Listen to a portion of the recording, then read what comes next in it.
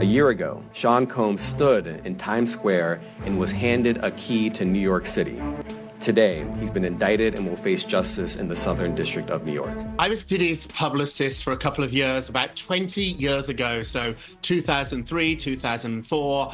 I ended up doing his publicity for, for, for a couple of years. Okay, got to end your Friday with the scoop. Sean Diddy Combs could be fighting for his life amid federal and sex trafficking crime charges.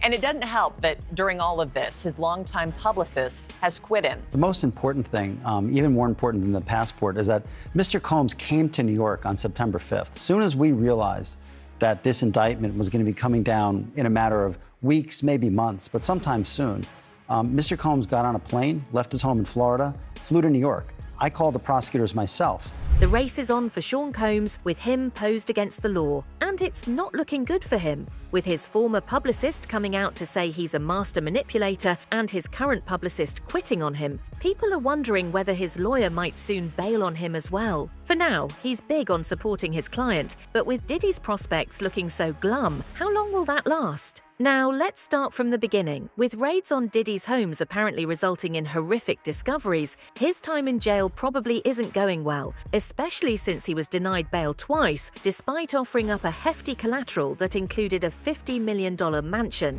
Fighting to be released on bail. His attorney writing in a letter to the court Wednesday that Combs is eminently trustworthy and should be released on a $50 million bond. The rapper offering to secure the bond with his $48 million Miami home and the bond would be co signed with his mother, sister, three adult sons, and mothers of his two daughters. Combs was arrested Monday, and sources tell ABC News he has not been incarcerated with the general prison population. A judge denied him bail Tuesday after expressing concern that Diddy's alleged crimes occurred behind closed doors, with law enforcement unable to monitor his behavior. Someone's presumed innocent, so you're presumed that you get bail. Not in this kind of crime. In this kind of crime, bail is not presumed. Furthermore, you've got the problem that he's accused of intimidating witnesses, of trying to interfere with the investigation. None of that helps him in his argument that he should get bail.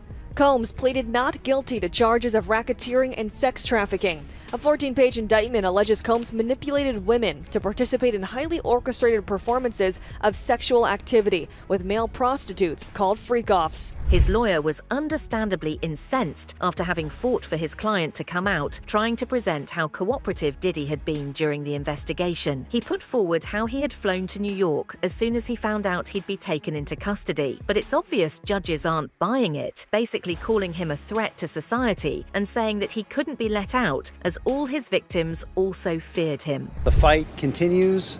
Uh, we're not we're, we're, we're not we're not giving up by a long shot. Outside the New York City courthouse, his lawyer defiant. He believes he's innocent.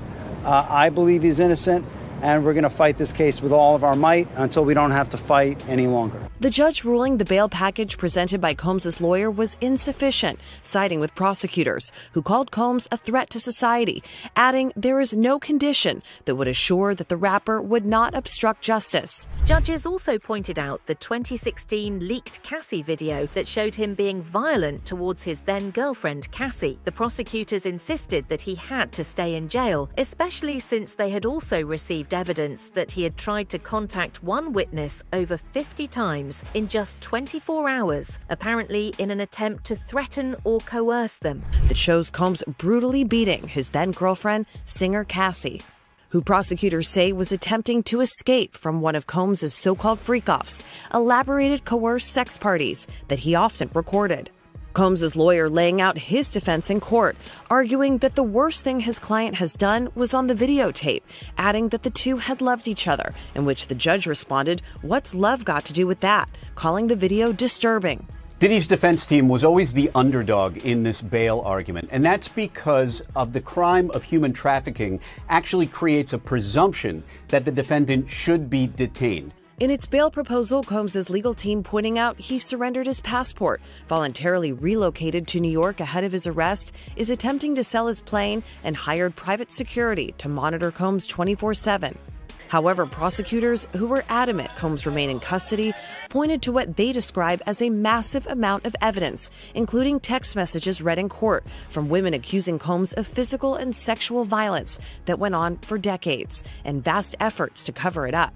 Adding witnesses universally share an extreme fear of the defendant. This is after his lawyer made multiple statements supporting Diddy after was first denied bail, saying that his willingness to cooperate with the investigation shows that he shouldn't have to stay in jail. Ironically, the one point he repeatedly brings up is his having to stay in less than comfortable conditions. He's in the special housing unit, uh, which is a very difficult place to be.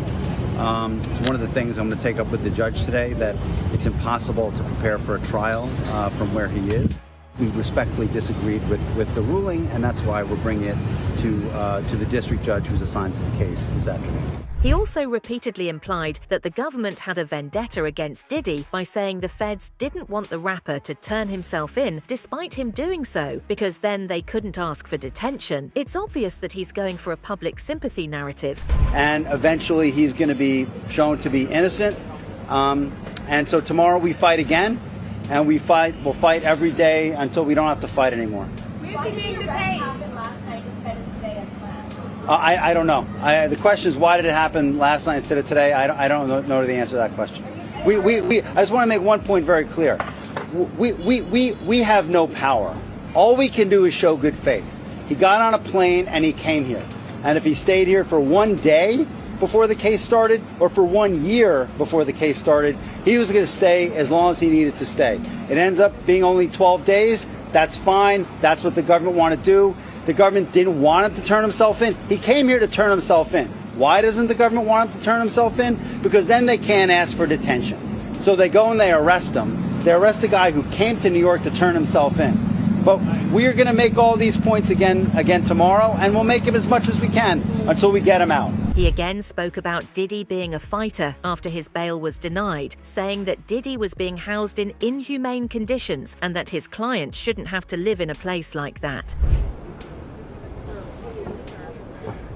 Good afternoon, everybody. So, um, so uh, we made a bail appeal uh, to Judge Carter. Uh, it did not go our way. Um, the fight continues. Uh, we're not we're, we're, we're, not we're not giving up by a long shot. I told Mr. Combs um, I'm going to try and get his case to trial as quickly as possible. I'm going to try and minimize the amount of time he spends in very very difficult and I believe inhumane uh, housing conditions in the in the special housing unit of the Metropolitan Detention Facility, and I'm going to do everything that I can uh, to move his case as quickly as possible. I understand that the, the government has a great amount of electronic devices that they have to download and provide to me, but everything's on the government's timetable, nothing's on the defendant's timetable, and they're going to have to accommodate me and him and give us a, a, a quick trial uh, and I'm going to be pushing for that. Um, he's he's ready. He's focused. Uh, he has been ready to defend this case since he first found out about this case. Nothing has changed from his perspective. I obviously would much prefer to fight this case with him out of jail, and we are going to try to bring that about.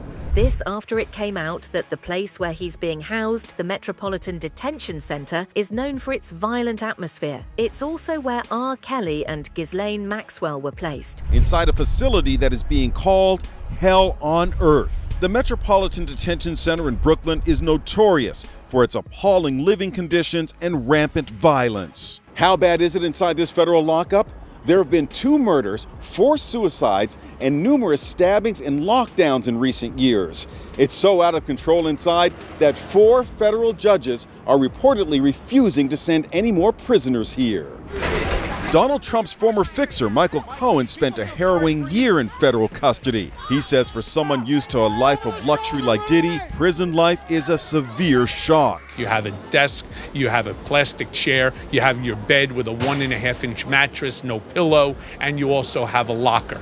So you basically have three feet by five feet to move around. So you have a basic 15 square feet. It is a horrible, horrible place. As a result, Diddy's lawyer is trying to get him transferred to a New Jersey prison. In the past, uh, Essex County, Essex County, New Jersey, it's a, it's a county facility, but it has a contract with the federal government, and you can get certain number of federal inmates in Essex County, New Jersey. And in my experience, it's just a, it's just it's an easier place to deal with.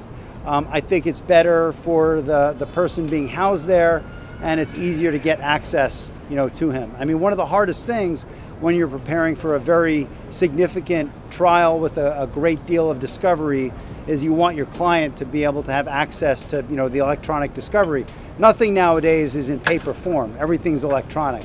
So you need to make sure that your client has access to a computer. But it's ironic that his lawyer would talk about the terrible conditions Diddy has to face, considering he sent his former protege to jail for a decade with no remorse at all. Rapper turned politician Shyne had to serve 10 years because he took the fall for the 1999 club New York shooting both Jennifer Lopez and Diddy were involved in.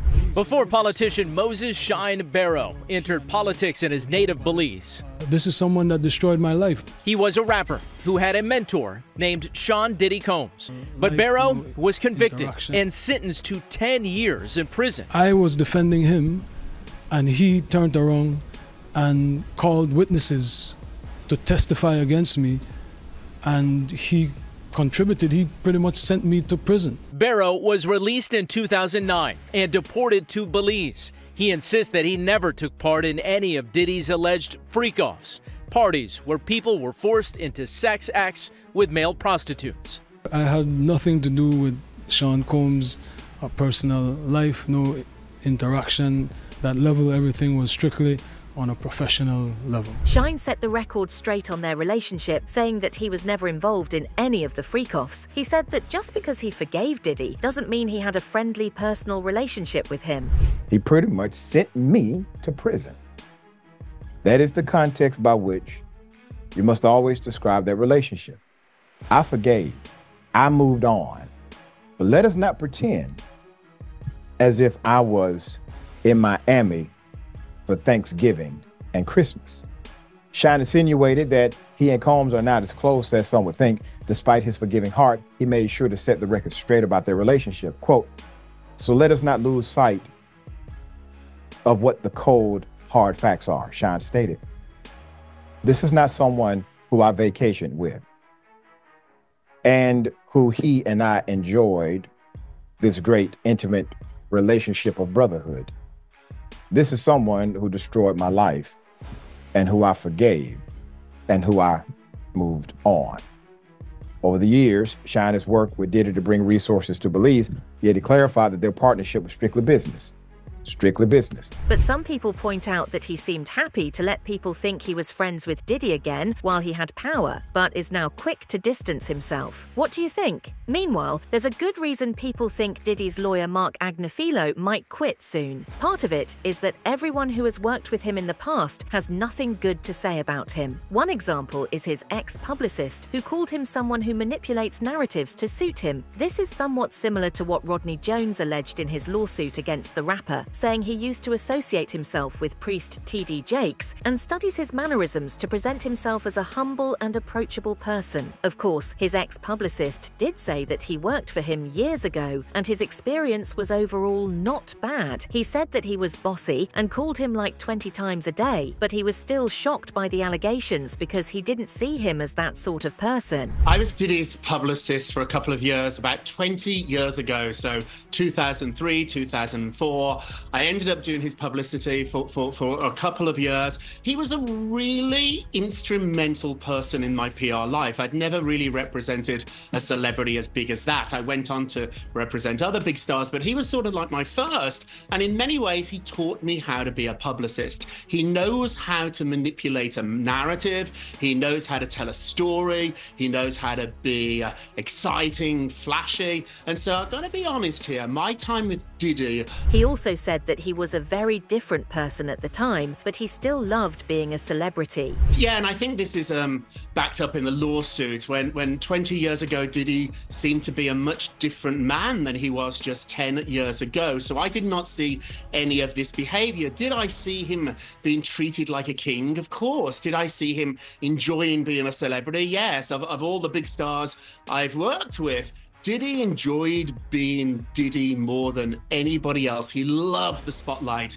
He loved people talking about him. Meanwhile, he also pointed out that his current publicist, Natalie Moore, seems to have also jumped ship. He also thinks his chief of staff, Kristina Khorram, will soon get dragged into the trial as well. She was promoted to Diddy's chief of staff back in 2020, and she's very important to him. Combs has even written about her on social media. Meet Kristina Khorram, chief of staff at Combs Enterprises. Kristina, aka KK, keeps everything in my life and my business running. She's been my right hand for the last eight years and has consistently proven to execute and get S word done.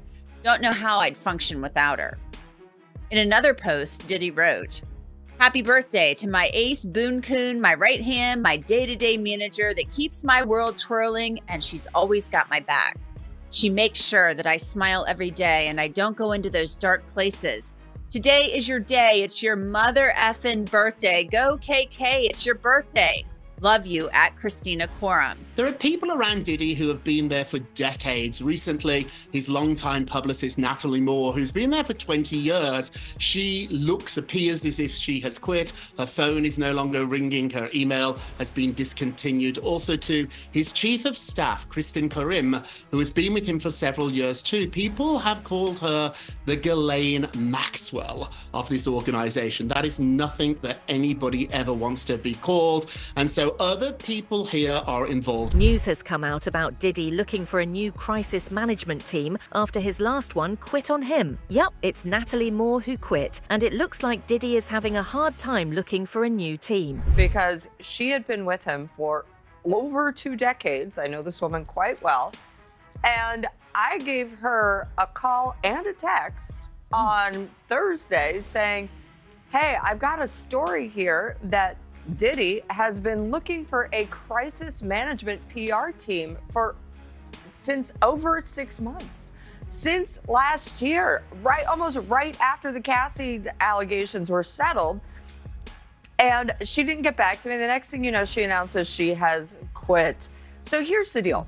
One of the reasons she quit, I am sure, is that A, what is she going to do in this situation? Yeah, but it's B, a hard thing to fix. the- a hundred percent, but also the crisis management PR people that he has been reaching out to charge at minimum 30 grand a month, nowhere near what he was paying his longtime PR person.